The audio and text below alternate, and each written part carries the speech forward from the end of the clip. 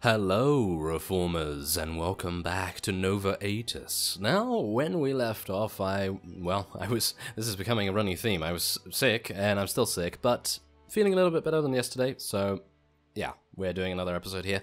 Now, I have received this event. I'm actually unsure what it's all about, but I don't like the look of it. I don't like the look of it so far because as you can see right here, I highly recommend you to offer your apologies to do justice given my stature. Young and fast boy runs through the streets running over you. So yeah, we have four different options about how we react to this. 90% chance gaining good proudness trait? I have no idea what kind of traits there are, but good proudness? I have no idea what good proudness is, and we lose minus 100 prestige for doing that. And then option 2 is to gain a 75% chance of gaining a good proudness trait, and you lose 50 prestige.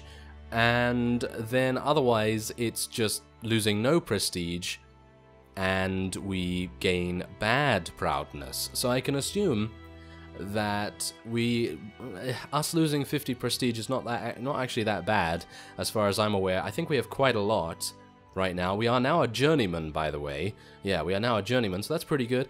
I have gone to work a little bit, but what I was currently doing was running around selling slaves. I've already sold all of my slaves, so that's why I have a little bit more in our inventory there in regards to florins, of course. But otherwise, I just wanted to do the quest that we took a long time ago to hunt down this guy, and I wanted to do that, but unfortunately the village was raided, so I couldn't actually enter it, and so I've been waiting at Sargoth until it becomes not raided, if you know what I mean. So anyway, I think what we're going to do is we're actually going to select option 2, because prestige is always available. We can always go and cut down some trees, can't we? It's going to take a long time to get 50 prestige back with 3 each time, but I feel as though getting a 75% chance of gaining a good proudness trait, that's pretty good, right? So, I mean, it's, I mean, that's the thing. We only gain 15% and we lose 50 more prestige, so I think option 2 is probably the best. Oh, okay what what what actually happened here. There is actually a tournament going on here as well, so I thought maybe we could participate in another tournament, but let's actually just have a look here. So what's my prestige about? My prestige is 219. Did I lose any?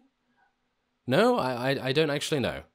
Journeymen are people who completed an apprenticeship. He is fully educated in a trade or craft. Not really, actually. Not really. I'm not actually fully educated in a trade or craft because I haven't really gone to the workplace very often.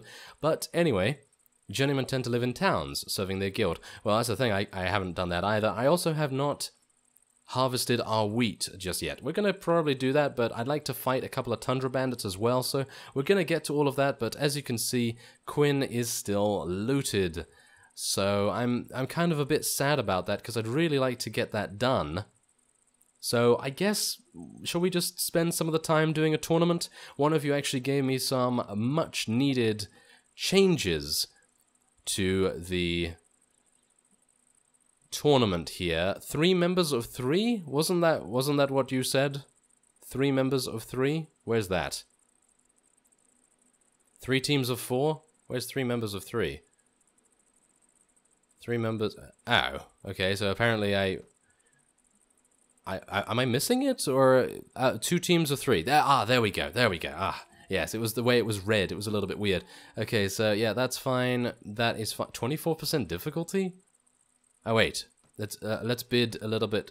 Oh, we can't do any more because obviously the the points, the points. So what about three teams of two members? That might actually be okay. I, I don't know. I feel like ah, oh, there's three teams of three. Ah, oh, never mind. Okay, I completely missed that. That was that was pretty bad of me. But anyway, there we go. So 1700, and we're gonna take a lance and a shield, enhanced weapons, all that sort of thing. And apparently, proficiency does have an effect. So thank you for letting me know about that as well, because I was a little bit worried about it. So yeah, let's let's go and fight, shall we? Let's do this. Oh no. The enemy also has a couple of people with lances and things, so that's not going to be too good. Oh, there's 78 damage, but not enough to kill him. Wow, not enough to kill that guy. Okay, well, that was pretty good. So maybe we can get a little bit more. next time we charge into one of them. That would be kind of nice. There we go, 114. Yes, that's what we're talking about. That's what we like to see. The red team's actually doing pretty well here, which is not good, because now I won't be able to get my points. Oh, or maybe I will. I took out quite a few of them, but I don't... Am I? I'm actually... Oh, yeah. Yeah, even if your team wins, you still get that, so that's pretty nice. So, that's, that's cool. Let's just continue onward, shall we? And we'll see, ah, here we go, yes. We are gaining a huge amount of money now, which is really nice, because what I would like to do, I did make a brief stopover in Zendar, because one of you said that it would be a cool idea to get a boat, to travel over to a colony, or the New World, or something along those lines. And yeah, I've actually checked it out, the prices of the ships are actually not that much. For a 40 strong boat, we can actually expect to pay I think it's 8,000, so that's actually not that bad for 40 people. That is pretty good, so I'm kind of happy about that. But otherwise, probably the colony on the other side in the New World is probably going to cost a huge amount, so that's probably the reason why many of you may be warned against doing something like that, because it would probably mean that we will have well, we need a lot of money. We need a lot of money to take over there. So, yeah, I'm going to try and see what I can do about getting a huge sort, sort of like mm, real estate empire going. I think that would be really cool to do. So we're going to try and do that. I'm going to just get as much money as I can. That's why I'm mainly doing this tournament as well. Obviously, the tournament is also to purchase extra real estate and maybe even to upgrade some of our forces, and that was a very, very bad lance, wasn't it? Very, very bad. Okay, so let's see if I can... Uh, this is not going to happen, is it? I mean, we are the red team, so we are technically drawing right now with the blues. The greens are not doing too well. Uh, they, they have just taken one of them out. Ah, there we go. There's a kill. And I'm going to try and go over here and then turn around. Oh, oh, the blue fellow is after us. Oh, we, won't, we will not allow that. Come on, red fellow. You must eliminate him. Where's the, where's the rest of us? Oh, oh, oh, there, there, there they are. There they are. Okay, so yes, he's, he's trying to poke me in the face. I'm not, I'm not particularly happy about that. He has a very long polearm. Okay. Oh yes, here we go. Let's go first person for this. We're gonna try and see whether we... Ah, okay, apparently not. Apparently not. I got there a little bit too late, but that's okay, because we still get the bet. And the points are... We're rank 1! We are rank 1? I had no idea. Okay, well, Apparently we're doing quite well here. And that guy was already taken out. There we go. There's another one. There is another 153 damage. Apparently increasing our proficiency is really helping with the modifiers right now. Uh, stay away from me, please. Thank you very much. Yes, so what I'm going to do is I'm actually going to cut away right now because obviously we've seen the tournament in the previous episode. It wasn't that good. I didn't do a very good job in it. I was feeling pretty bad. I'm feeling a little bit better today, but obviously yeah, we're doing quite well here. And how many more rounds are there? round four. I would assume that there's probably going to be another two rounds. So I'm going to cut away right now. Going to participate in those. And maybe in the last round I'll cut back. But let's just, let's actually have a look at the standings here. Okay, so...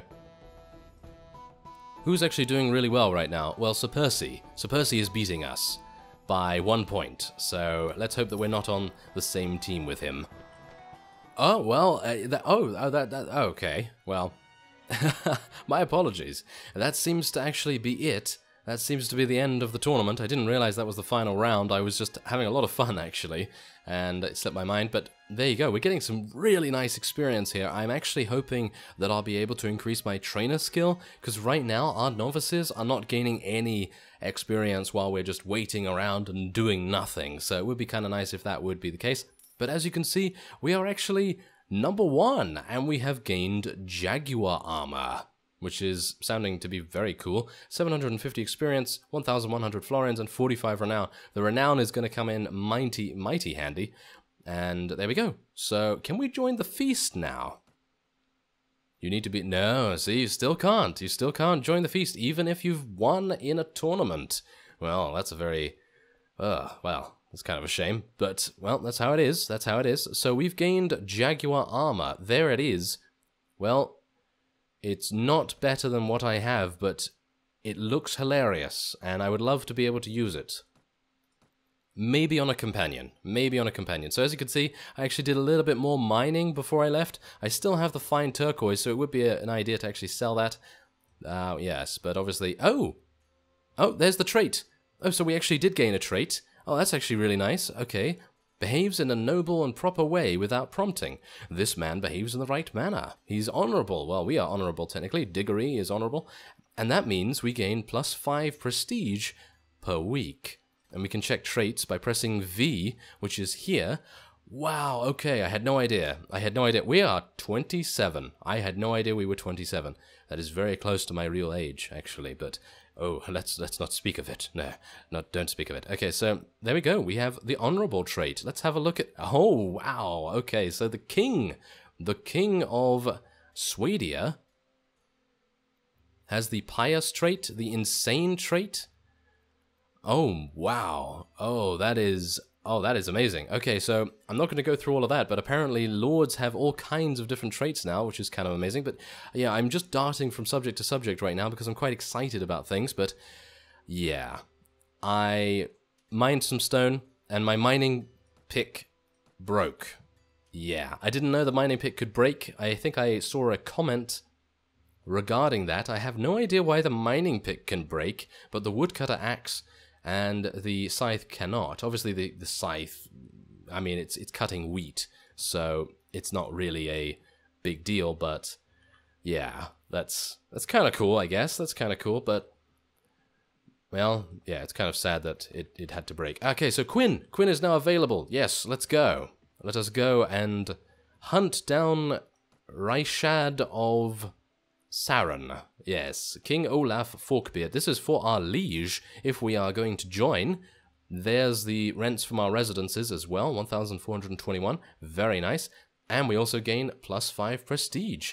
So we lost 50, so 10 weeks, and we'll be back to the normal amount of prestige for that particular event.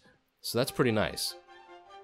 Okay, so what are we going to do here? We are going to go into the village center.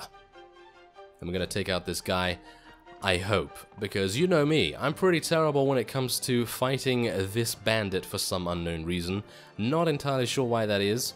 It's probably because I usually tackle him when my proficiencies are awful, and I overestimate my ability, perhaps. That might be it, but where is he going to be?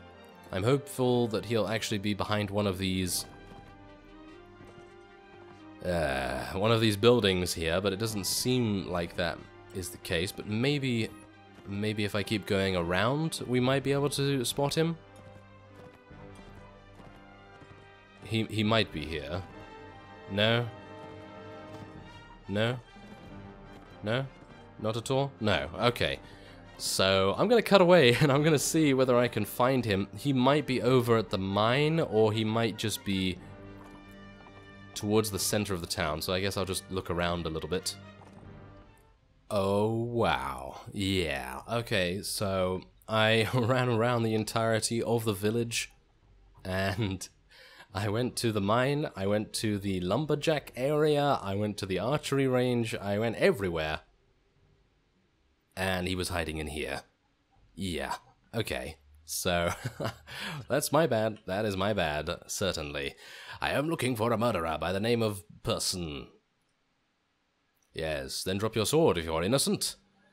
I come not for money, but to execute the law. Diggory, yes, Diggory does do that. Yes, okay, so he's, wow, yes, he's very, very dead. I'm gonna get out my bow, because a nice headshot will suffice.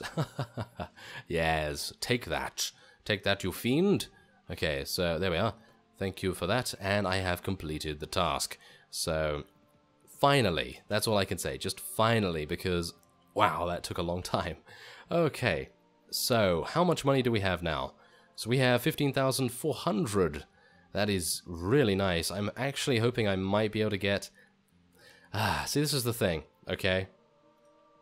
Should I go to the guild hall, or should I go to the guild master and donate to the guild hall? Because apparently that will give me a huge amount of prestige. That will give me like 100 prestige, apparently, according to some of you.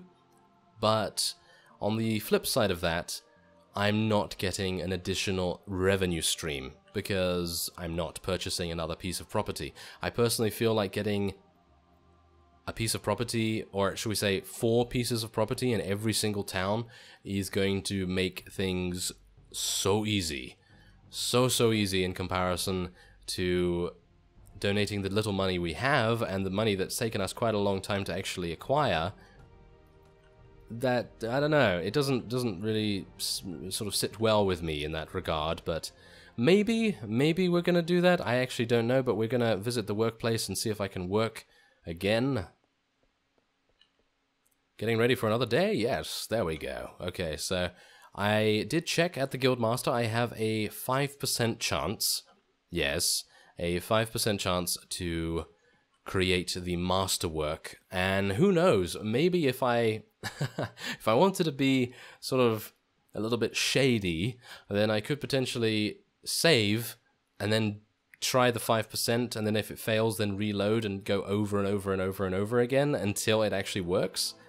If it is truly a 5% chance, but I don't really want to do that. I kind of wanted to do it sort of much more legit, but well, it depends. It depends how things go, but for the most part, I would like to do this completely legit because that's what the mod is all about. It's all about actually, you know, rising up from zero. And I don't actually mind enhancing things here and there because I don't have a problem with that. I mean, if you're going to do that in your own game, I, do, I really do not have a problem with that. I just think to myself that maybe it would be a cool idea if we could actually get all of this stuff done with within the confines of the game. Anyway, add 10 stone units. Yeah, there we go. Now we have 22%. 22% done, and I have no timber on me at all, which is kind of sad. But I'd like to try and find Lord Olaf. Is he around here? Diragun. Diragun, come back here. Oh, Serdin. I'll, I'll speak to Serdin instead. Oh, is that him? Oh, there's Olaf. Never mind. Okay, I don't need your assistance. Thank you. Okay, so hello there. I would like to I would like to offer you my sword and vassalage. Yeah, I could actually join them. Could I? No. Yes, be gone, beggar, before I lose my temper. Oh, that's that's kind of sad. That that really that really hurts. Anyway, I'm not going to be accepting the blood money. There we go, gain some honor, the very small amount of honor that we have. As you wish it, Journeyman Diggory, as you wish it. An honorable sentiment to be true. Yes. Do you have any tasks? Oh, okay, so uh, yeah, I can destroy another hideout, why not? That gives me actually 60 days to do that anyway, so I don't even need to do it right away, which is absolutely fine. So, yeah, I guess that's it. I guess that's it for this episode. We're gonna end this off here. And off-screen, I've been doing uh, quite a bit of stuff, so yeah, this mod seems to be one of those that you actually do need to do quite a lot off-screen, which is kind of a shame do you guys want to see some of that harvesting and stuff? I mean, that's the thing. I don't want to show us harvesting wheat all the time, you know? I don't want to go like, oh, today, on today's episode, we're going to be harvesting some wheat. Now, I don't want to do that, you see, so that's the thing. Harvesting wheat would be really, really cool because then we can obviously get flour, and that's really nice. But speaking of flour, I think I may have actually eaten all of the flour with my troops. As you can see here, we actually don't have much food remaining, so yeah, the flour could actually be used to feed our troops, hilariously enough. Not entirely sure how flour is nutritious or, or tasty, but once it's baked, of course, yeah, then that's absolutely fine. Once we have an enterprise, then that wheat field is going to be insanely good. But anyway, I thank you very much for watching, and I will see you next time.